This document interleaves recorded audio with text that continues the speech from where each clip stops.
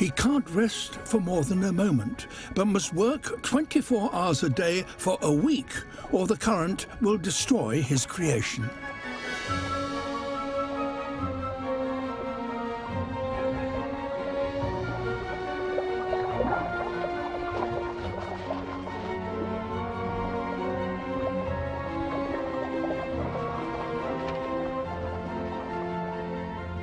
A final tidy up, and his masterpiece is complete.